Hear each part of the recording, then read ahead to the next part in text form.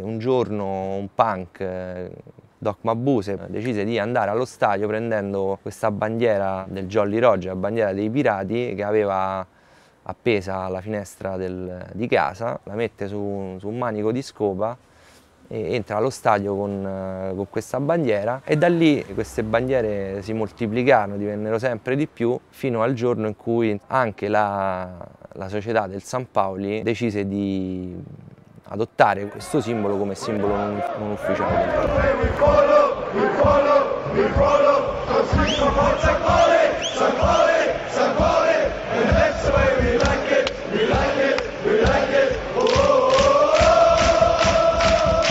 Mi chiamo Marco Petroni e mm, ho scritto questo libro San Paoli siamo noi per raccontare quasi dieci anni di esperienza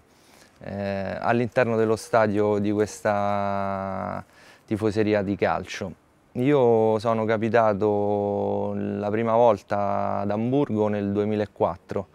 facevo un viaggio, un interrail e capitai eh, ad Amburgo il giorno in cui giocava una partita al San Paoli. Comprai subito il biglietto e pomeriggio stesso sono, sono andato a vedere la partita. Eh, poi in realtà già prima di entrare allo stadio, eh, aspettando il fischio d'inizio, insomma ho capito che c'era qualcosa di, di, particolare attorno a questa tifoseria. Quindi attorno a me c'erano punk, c'erano skinhead, metallari, fricchettoni, persone, persone normali, molti bambini e molte donne. Mi sono ritrovato sostanzialmente eh, attorno a, a, una comunità che fino a quel momento mi era capitato di, di frequentare a iniziative all'interno dei spazi sociali.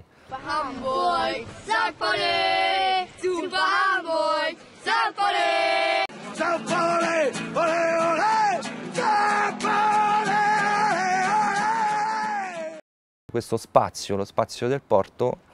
è stato da sempre un, uh, uno spazio di lotta,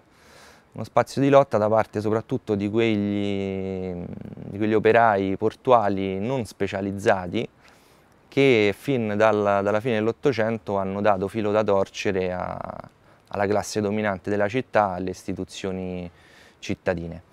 Eh, la storia è, è, è, zeppa di episodi di rivolte, di insurrezioni, di resistenza all'ascesa del, del, nazismo durante il periodo della Repubblica di Weimar. E, mh, il quartiere di San Paoli comunque oltre a questo aspetto qui ha eh, tanti altri aspetti, ha, ha mille facce. All'interno del quartiere c'è eh, il distretto a luci rosse, c'è tutta la zona del, del, divertimento sessuale, da sempre essendo un, uh, un quartiere portuale. C'è anche un filo musicale che passa dapprima per le sale da ballo, poi per eh, la musica jazz, eh, nel, nel, periodo del, degli anni 20 e degli anni 30 per poi passare nel periodo del dopoguerra al rock and roll. E infatti anni, tra gli anni 50 e gli anni 60 sbarca eh, all'interno di queste vie del quartiere di San Paolo il rock and roll e con, eh, con esso arrivano le prime band inglesi, una delle quali è appunto quella dei Beatles, che nascono eh, e, e, e crescono musicalmente eh, proprio nel, nel quartiere di San Paolo.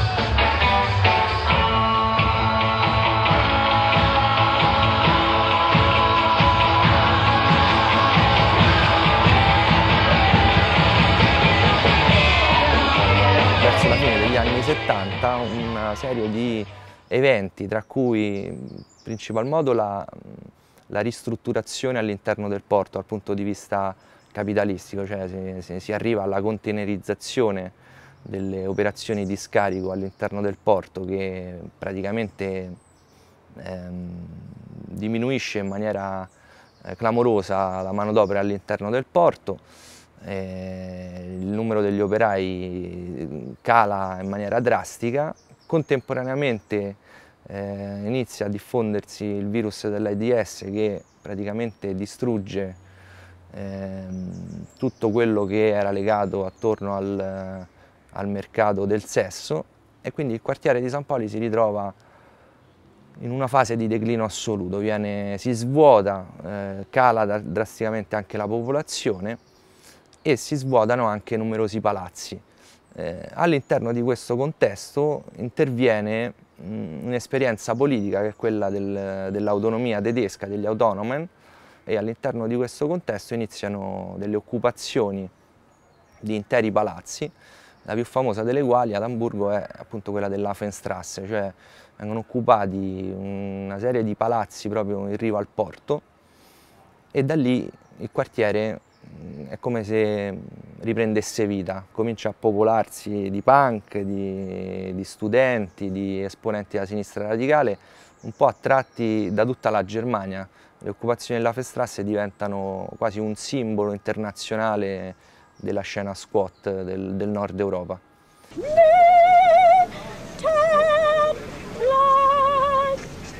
Haben Sie Kinderfamilie? Sind Sie noch ledig? Junge, Junge!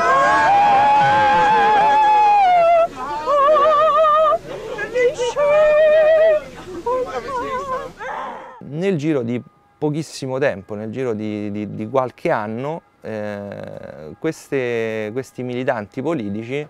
si accorgono che all'interno del quartiere, a poche, a poche decine di metri dalla, da, dal, dalle occupazioni della Fenstrasse, eh, c'era uno stadio frequentato da circa mille persone, per lo più vecchi portuali e ehm, Kutten, cioè il, la classica figura del tifoso tedesco che gira con eh, delle giacchette jeans piene di toppe. Nel giro appunto di, di, di qualche mese eh, lo stadio comincia a popolarsi di punk con la cresta colorata, di autonomi con eh, le felpe nere che danno vita a una sorta di rivoluzione all'interno del, del calcio tedesco. In realtà c'era anche un altro motivo.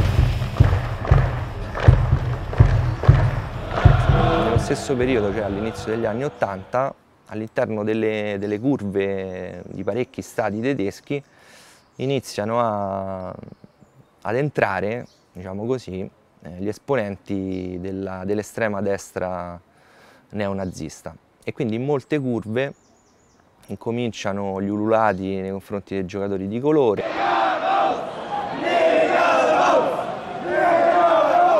Iniziano i saluti romani, iniziano le aggressioni ai punk che in Germania hanno sempre portato avanti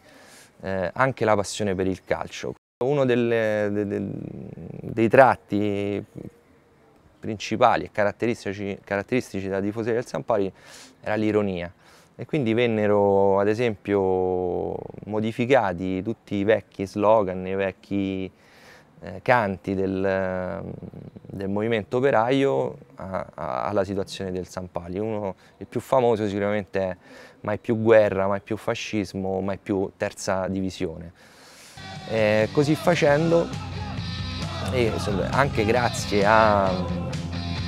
un minimo di, di, di successi sportivi, mi riferisco a una doppia promozione che portò nel, nella stagione 87-88 il San Paolo in Bundesliga, lo stadio eh, si riempì di circa 20.000 spettatori a partita.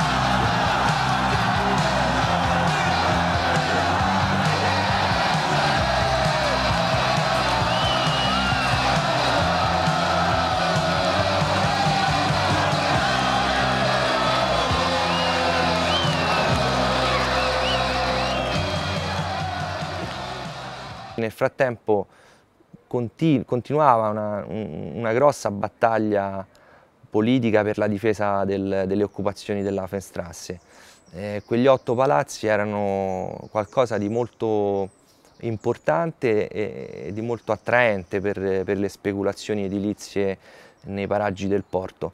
e quindi ci fu una durissima battaglia politica con eh, continue aggressioni sia da parte della polizia che da parte dei gruppi d'estrema destra che ormai avevano eh, dichiarato l'area della Festrasse come un mito da, da colpire a tutti i costi. E quindi per, per anni si è andati avanti fino, a, fino, ai primi anni 90 con una sorta di, di guerra civile all'interno della città di Amburgo con scontri, la cosa non riuscì e la Festrasse, grazie all'impegno di migliaia di persone, riuscì a, diciamo, a tenere queste occupazioni che poi nel corso degli anni vennero sostanzialmente legalizzate. E ancora oggi i, i, i vecchi palazzi della Festrasse eh, colpiscono un po' l'occhio guardando il panorama del porto di Amburgo perché è l'unica costruzione vecchia rispetto ai grattacieli e a tutte le nuove costruzioni che ci sono. Il lavoro politico dei, dei tifosi del San Paolo all'interno del, della struttura del club ha portato sostanzialmente all'allargamento della, della, base democratica eh, della società. La prima battaglia sostanzialmente fu quella eh, condotta contro la, la, costruzione di un mega impianto sportivo all'interno del quartiere di San Paolo, lo Sport Dome. È un progetto molto ambizioso, una mega costruzione sul modello dello Sky Dome di Toronto con investitori eh, canadesi che grazie a una forte mobilitazione di tutto il quartiere eh, fu fermata e questo fu uno dei primi elementi che sancì una sorta di saldatura tra il quartiere di San Paoli e la tifoseria del San Paoli. Questo è stato possibile anche perché in, in Germania i club di calcio sono delle associazioni registrate, mentre invece in Italia per partecipare a qualsiasi campionato professionistico i club devono costituirsi in eh, aziende, in SPA. Va da sé che eh, la struttura societaria tedesca su, sul modello sostanzialmente associativo permette al tifoso socio di eh, ricoprire un ruolo di primo piano all'interno del, del club. E quindi hanno dato vita ai tifosi nel, nel, corso degli anni a decine di progetti sociali, i più disparati possibile, ehm, attività a sostegno del, dei disoccupati del quartiere, dei bambini, eh, dei rifugiati politici, degli immigrati, mh, mm, mh, quello più recente, e più famoso, Viva con Acqua, si è impegnato a costruire pozzi d'acqua nei paesi in via di sviluppo. Ovviamente la tifoseria ha un po' ehm, ripercorso i cambiamenti anche sociali e politici che ci sono stati all'interno del quartiere. San Paoli a partire dal, dagli anni 90, dalla, dalla, fine degli anni 90 ha iniziato eh, un processo di, sostanzialmente di gentrificazione eh, e quindi questo ricambio all'interno del quartiere si è poi sentito anche all'interno dello stadio. Eh, anche dal punto di vista della società, cioè quindi dal punto di vista dei vertici della società, ci sono state diverse misure eh, di diverse scelte che hanno sostanzialmente fatto scivolare eh, tutto il club verso i processi di commercializzazione. Eh, sicuramente la, la, cosa che ha cambiato parecchio la, la realtà del San Paolo è stata la ristrutturazione dello stadio. Ha cambiato completamente l'atmosfera all'interno dello stadio e due anni fa eh, un episodio in particolare ha dato il via ad una grande protesta dovuta alla vendita da parte del, del, club di uno dei box commerciali ad un locale di spogliarelli di, di San Paoli ovvero la protesta social romantica. Questo, questo locale ha piazzato all'interno di questo box un palo della lap dance con delle spogliarelliste che si esibivano durante la partita. È questo l'episodio appunto che ha scatenato l'ira dei tifosi, quali, i quali hanno dato appunto il via a, a, alla protesta social romantica che aveva come caratteristica quella del, di una bandiera dei pirati rossa, rossa con lo sfondo nero. E quindi il tema eh, del, del, del, del, sessismo e dell'omofobia all'interno del, della tifoseria del San Paoli è oggi un argomento molto sentito e molto importante. Eh, non a caso eh, all'interno dello stadio del San Paolo c'è la più alta presenza di pubblico femminile di tutta la Germania, circa il 30%. All'indomani di, di, questa protesta che minacciava sostanzialmente una sorta di boicottaggio dei consumi all'interno dello stadio, la Presidenza ha fatto dei, dei passi indietro, in primis eh, negando la, la, la, la concessione revocando la concessione a questo locale di Spogliarello e poi venendo incontro a tutta una serie di richieste che hanno fatto i tifosi.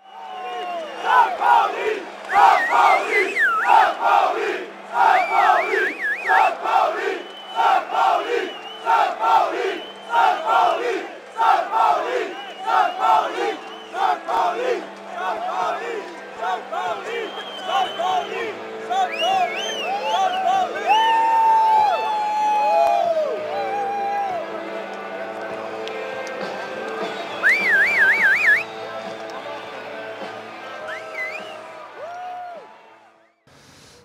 la speranza è che il nuovo presidente eletto qualche mese fa, che proviene da questa protesta social romantica, quindi dalla base de, dei tifosi, possa un po' eh, riportare eh, l'aspetto politico eh, su posizioni più, più, alte, diciamo così. Eh, e quindi la sfida sarà, sarà proprio questa, sarà quella di far competere il San Paoli con la sua tradizione politica a livello di altri club che invece in Germania, così un po' come in tutta Europa purtroppo, eh, questa è la situazione del, del, calcio moderno, puntano più invece tutto sul, sull'aspetto commerciale e su eh, tutta una serie di misure che hanno reso il calcio un vero e proprio show televisivo.